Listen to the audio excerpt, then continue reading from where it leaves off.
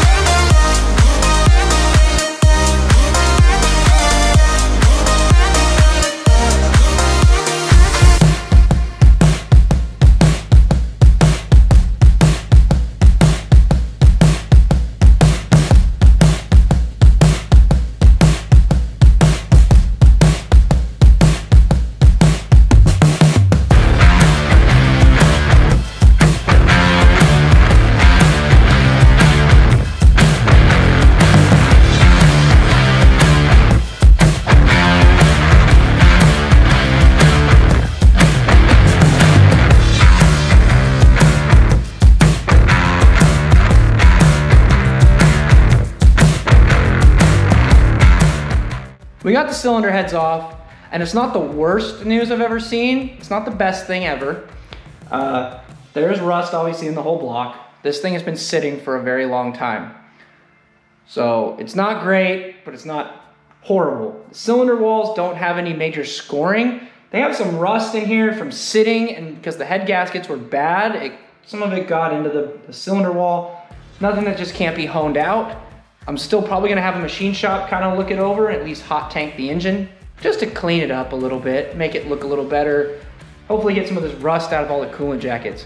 I'll, I'll talk to them and see what they can do. Uh, overall though, it, it's not horrible. It's definitely something we can work with. I just need to clean all the gasket material off, which we'll do here in a little bit. We're gonna have to clean it up here and we're gonna have to clean them off the cylinder heads. So really not that bad.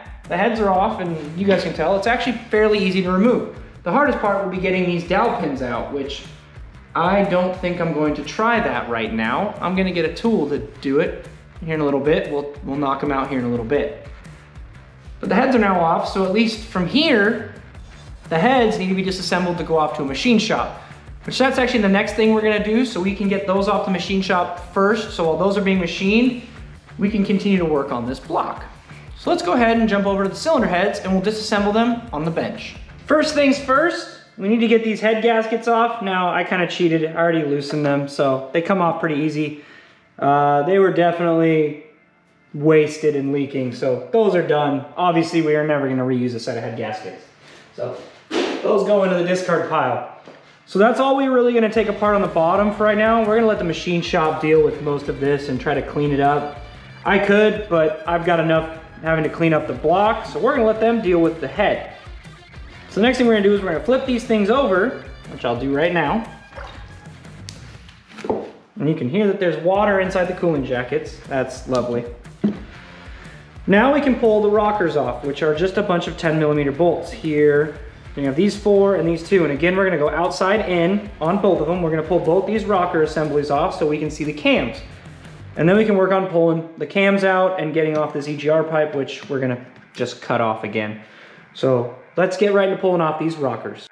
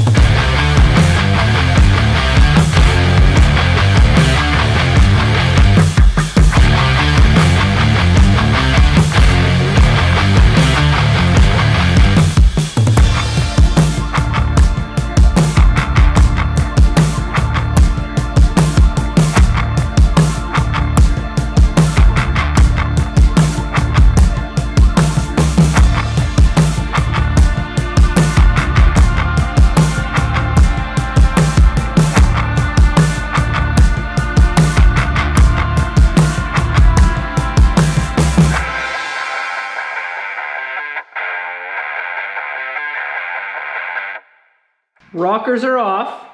Let's go ahead and spin these cams real quick. So this cam right here actually looks pretty good. There's no grooves, no wear on no excessive wear. That cam looks fine. Same with this one. This cam looks fine. So that tells me this engine was never run dry on oil. Now let's pull the cams out. That's a little bit interesting on these. To pull this cam, you have to Take out these two 12 millimeter bolts and it just slides out.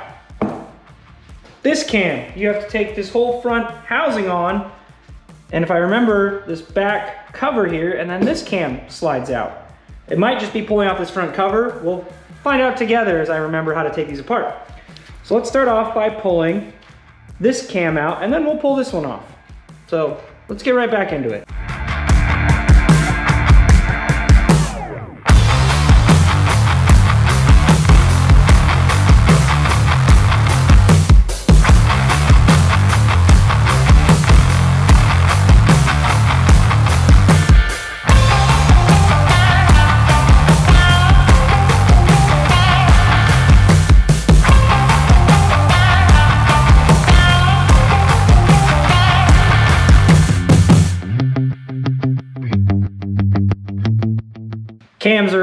It's actually really simple. Two 12 millimeter bolts on this head. This one was one 12 millimeter bolt and two 10 millimeter bolts. So looking at these cams on the actual bearing surfaces that they ride on, I see no damage to them. These actually look just fine. So the cams are good. Looking at the cylinder head, there's no excessive wear on these bearing surfaces. Also looks good. Means the engine was never run without oil. Now that we've inspected the cams, the next thing we need to do is we need to get this cam plug out, the front cam seal out, we need to get this EGR pipe off so these can be ready to go to the machine shop. So I think that what we will do now is we will go ahead and we will pull this cam plug and this cam seal off, then we'll cut this EGR pipe to remove that fitting and we'll take this 10 millimeter bolt off and these heads will be ready to go to the machine shop.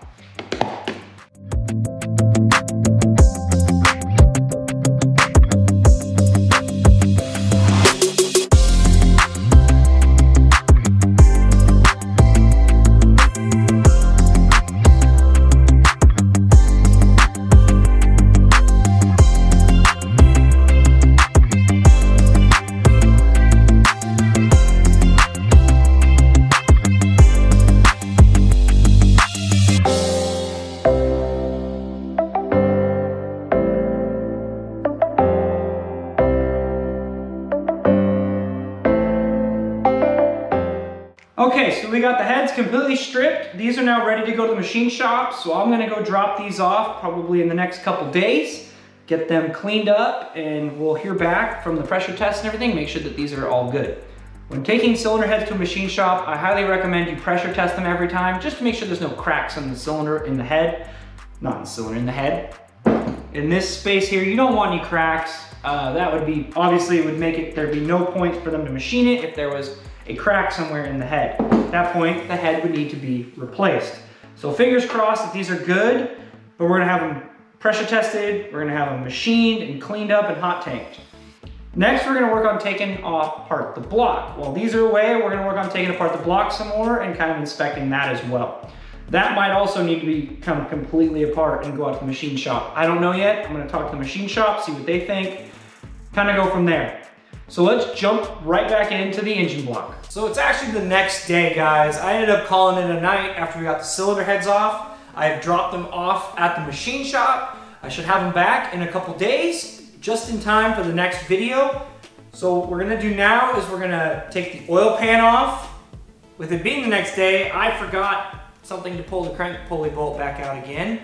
So we're not probably gonna take the oil pump off today, but we're gonna get the pan off, and that's probably gonna be it for today.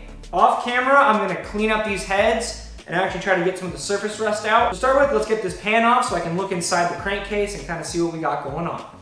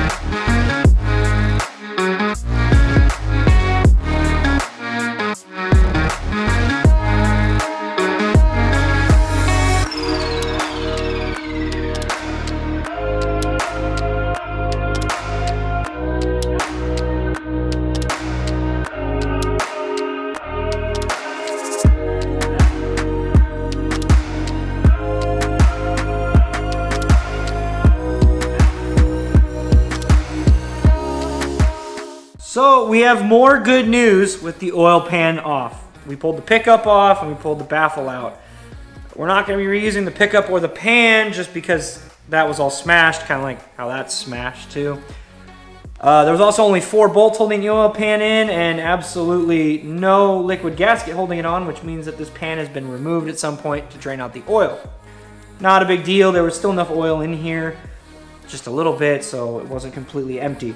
Looking at the crank, and looking at the rod caps here and looking at the connecting rods, everything looks okay. I've also spun it and kind of looked at what I can see of the skirts of the pistons. Everything seems to look good. I don't see any real damage in here. There's no hot marks. None of the rods are banging back and forth like it's got worn bearings or anything. So the inside of this block actually looks really good. That is good news for this engine. More good news. The more we start tearing into it, the more it looks a little better. It may not be the prettiest engine you've ever seen, but mechanically, everything's looking good. We're gonna wait to hear on those cylinder heads, but I'm fairly confident they're gonna be just fine. Alrighty guys, so we've got the heads off, we've got the pan off, we've got everything inspected on the block and everything looks good. We need to do a little bit of cleanup on it still, mainly getting some of this surface rust out, which I'm gonna do off camera. I don't wanna show you guys my trick for that because it is a little bit unorthodox.